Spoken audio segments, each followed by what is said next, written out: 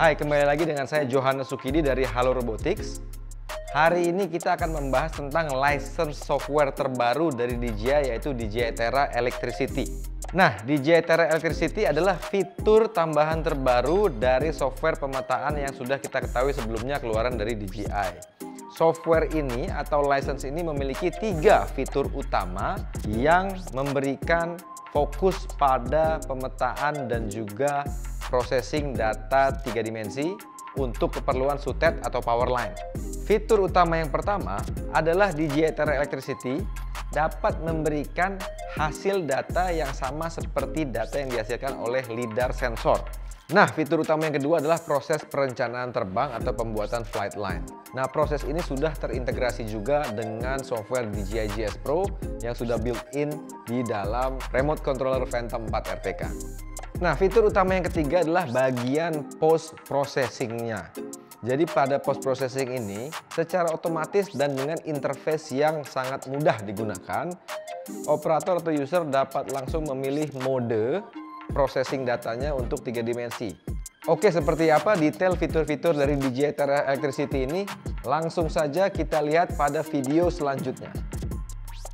Yang pertama adalah bagaimana kita membuat jalur terbang secara otomatis yang dapat kita buat dalam aplikasi DJI GS Pro.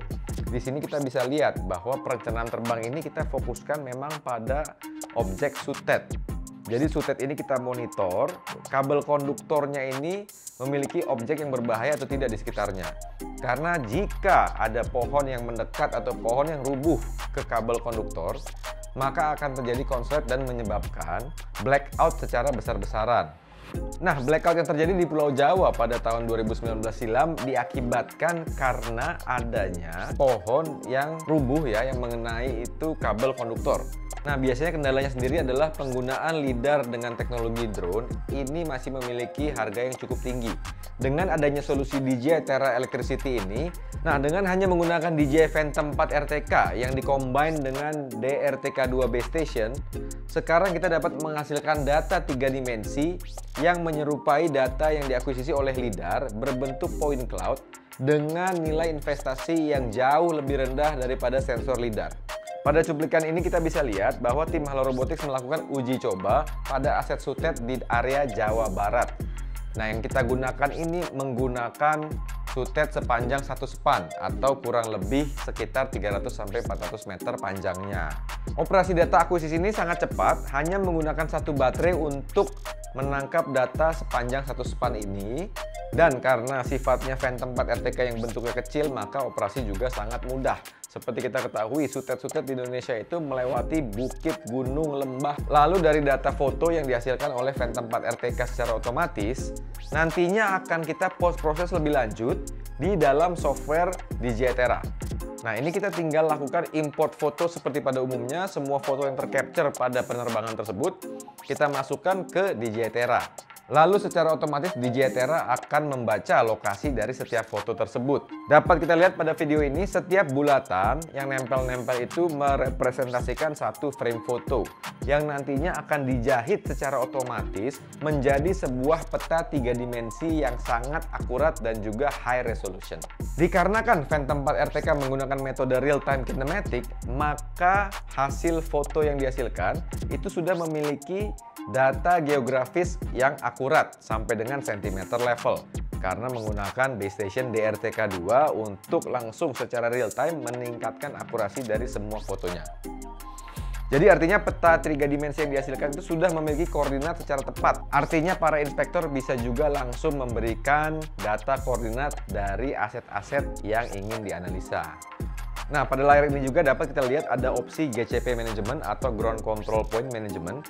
Artinya kita dapat memasukkan koordinat dari ground control point atau primark ataupun benchmark point yang sudah dimiliki sebelumnya. Nah, di sini kita tinggal pilih aja. Untuk tipe kita menggunakan 3D model. Lalu untuk mapping scenes-nya, ini jangan lupa dipilih yang power lines. Lalu menggunakan resolusi tinggi. Jadi dapat dilihat ya, menu di JTR itu sangat simple dan mudah digunakan. Post processingnya sendiri memakan waktu hanya beberapa jam saja dan kita lihat langsung hasil yang dihasilkan oleh DJI Terra Electricity pada video berikut.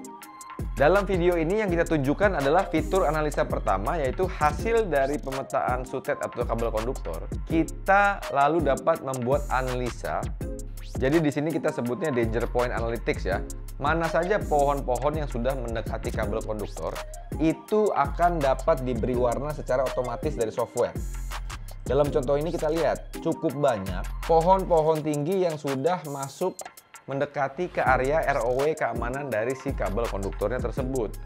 Nah, ini akan memudahkan rekan-rekan inspektor untuk melihat di span mana, area mana yang butuh penebangan pohon, lalu di area-area mana yang butuh kita perhatikan lebih lagi untuk menjaga keamanan dari sutet. Lalu untuk cuplikan video berikutnya, kita dapat lihat juga ini adalah hasil tiga dimensi yang raw dari DJI Terra Electricity. Jadi kita dapat lihat pada video ini, hasil yang dihasilkan juga menyerupai point cloud yang dihasilkan oleh LiDAR sensor. Sangat akurat, tidak ada kabel konduktor yang kehilangan atau miss pointnya.